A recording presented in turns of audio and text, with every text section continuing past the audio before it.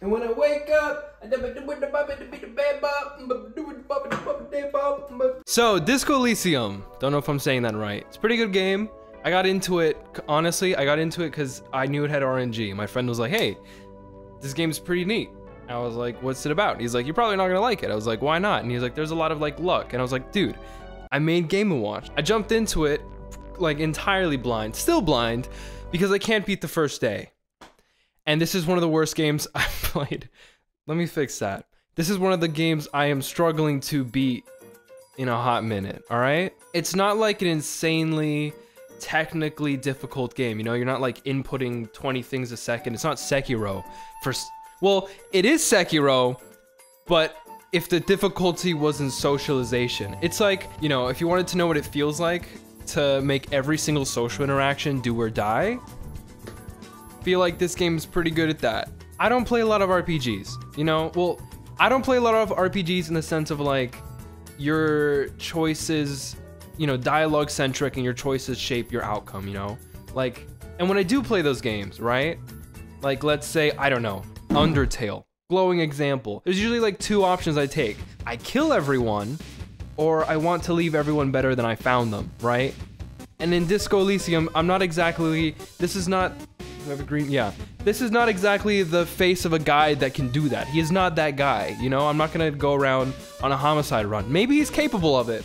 I haven't seen it. But since that wasn't an option, you know, I went into this game and I was like, all right, you know, he seems like he's going through it, so I, I would like to leave all of these wonderful little characters a little better than I found them. And he is he is terrible at that too. He's how does he I don't know how he's made it this far, okay? I don't know how to like demonstrate this guy. He's got problems.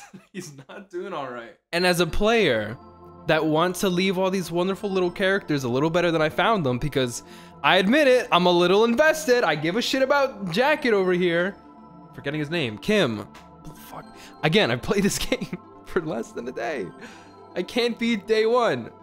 You know what? And let's talk about that. Why can't I beat day one?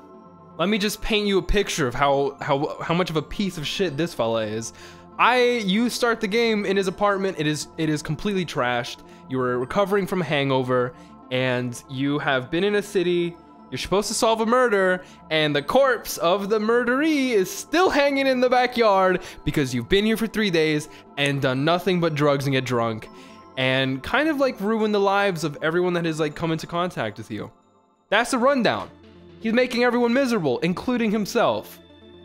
So like from day one, you know, the moment you pick up the controller, you are doing damage control for the most blundering every so in every social interaction, he is one sentence away from either appearing like an idiot or making someone hate him. And that is like, you know, relatable. Come on, right? I was like figuring out the controls at the start of the game, and I tried to punch a child.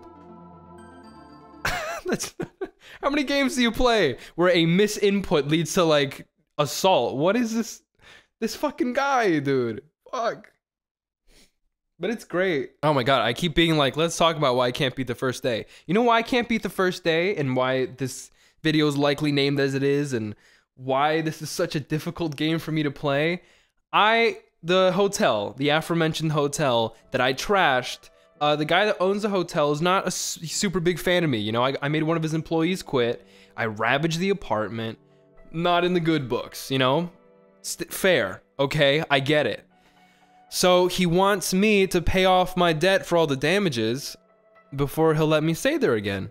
And it's like, there's not a lot of hotels in town. Like the only hotel in town. Only problem is I can't afford it. You know? And I didn't manage to scrumble enough money together by the end of the day to pay it off. You know? And I thought, oh, maybe we can work something out. He does not want to work something out. He wants his money. And so reluctantly, my partner in crime, this this this goober who's unfortunately having to put up with me, he's like, dude, so you know, I got these cool rims in my car. I wanted to put them on my car, but you know, I guess we can just sell them so we can pay for the pay for the night. And I don't want to do that. This is not his mess to deal with. This is my mess. But I have no money. So I don't want to sell his wheels and we have just been outside in the cold rain waiting for the night to pass. We're not getting any sleep tonight. We are sleeping outside on the street because I'm a piece of shit. This game's good. It's well written. It's pretty interesting. But I feel like they engineered it to cause me as much agony as possible. It took me like the first half of the day to even get him to look in the mirror at himself, you know? It was just a, you know, my guy had his like profile picture in the bottom and it was just like a blurry smudge for me because I didn't even know what I looked like. I got nothing else to say. This game's hard. this game's... Ugh. Sekiro, it's like, you know, you know what the enemy is. This big fucker on a horse, kill him. Easy. Objective is clear. Sword, cut. Done. Move on. This guy, oh man. It's crazy. It's like trying to defuse a bomb, except you're in the middle of like downtown New York and it's actually an atomic one, you know? So it's it's a it's a good time. It's great. He needs some counseling. I don't know if there's a way to get him that. I'm gonna work on it. I'll get back to you guys.